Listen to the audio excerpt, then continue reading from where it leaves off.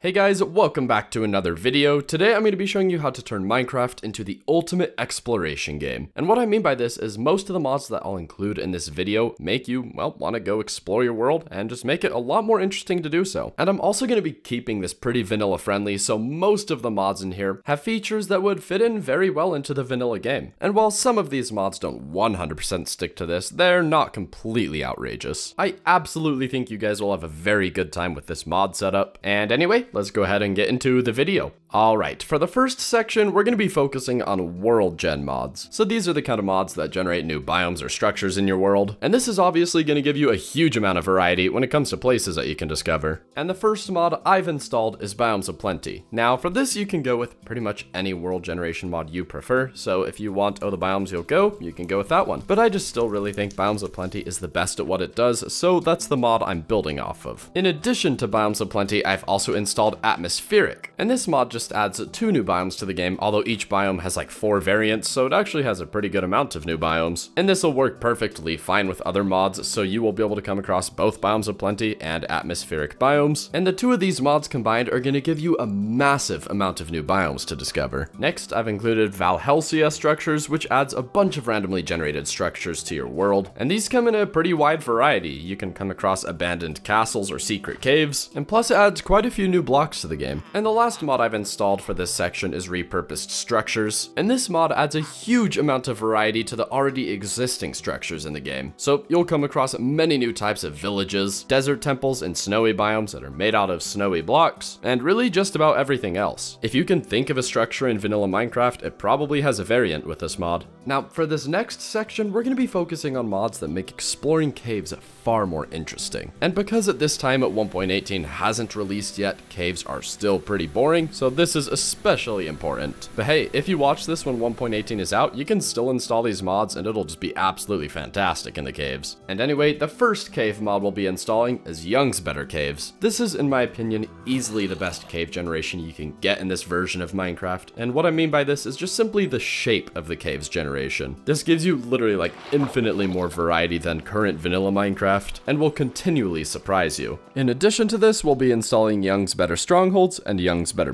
Mineshafts. In case you can't tell, YUNG makes some pretty good mods. And both of these mods do exactly what you would expect them to. YUNG's Better Mineshafts expands on Mineshafts in pretty much every way possible, adding both giant and far more detailed versions, and Better Strongholds just completely revamp Strongholds, adding far more rooms to explore, and really just makes it actually live up to its name. After that, I've installed the Quark mod, and I am including this in the cave section, but Quark is quite possibly the biggest mod in this entire list. It adds so many amazing features to the game that, unless it's just not available for your version, I can't imagine not playing with this mod installed. And for caves specifically, it adds things like stalagmites and stalactites, several different cave biomes, and even things to come across such as bigger dungeons. And if you want caves similar to the 1.18 update, you can always go with a mod like Caves and Cliffs Backport. Again, this just comes down to preference. Nearing the end of the cave section, I've installed Artifacts, which adds several dozen new unique items to the game, which can only be found through exploring. Most of these are going to be found underground in chests, and obviously this is going to make you spend even more time underground as you try and hunt these things down. And finally, the last mod we'll be installing for the cave section is Dynamic Surroundings. And this is another mod that doesn't just affect caves, but it certainly makes a huge difference in them. For example, reverb will now be present in caves, which I think it should be in vanilla Minecraft. Water makes more sound than just a little bit of bubbling, which again, I think should be in vanilla Minecraft, and many other features that boost both the game's audio and visuals. And this mod is very customizable, so you can change just about any feature you don't like. And for this particular video, I decided to disable the ambient audio simply because with all the mods we're going to be installing, we really don't need additional biome sounds. This one's totally up to you though. Now the next section is a real short one, and this is just mods that add new generation to kind of their own areas, and the first of which is Upgrade Aquatic. And this mod adds several new creatures to the water in your worlds, along with quite a few new blocks, and I'll give you a warning now, one of the creatures from this mod is absolutely terrifying, and the other mod we'll be installing is Better End, and this mod completely changes the end to the point that it's pretty much unrecognizable, and this is one of the mods I'm including that isn't that vanilla friendly, so if you don't want to install it because it changes so much, you certainly don't have to. Next, we'll be moving on to the mob section, and as you would probably guess, we're going to be adding a lot of creatures right here, and the first mod we'll be installing for this section is Alex's mobs. This mod is the Mo creatures of modern Minecraft. It adds dozens of new mobs to the game, and all of them have something unique about them. Whether that's something they drop or an ability they have, there's something for all of these mobs that makes them unique. After that, I've included Mowzie's mobs. And this mod adds easily some of the coolest creatures out of any mod available, and most of them are going to provide you with some pretty difficult fights. And the designs of these creatures do stray a little bit from vanilla Minecraft, but honestly, they just look so good and are so much fun to fight against that I'm easily willing to overlook that. And next we have the mod that potentially adds the most difficult creatures to the game on this entire list, and this is Mutant Beasts. Formerly known as Mutant Creatures, this mod was so ahead of its time back in the day. The models, animations, attacks, and pretty much everything else are just absolutely incredible. Keep in mind though, in order for the Mutant Beasts to spawn inside of your world, you're gonna have to enable that for the config of this mod.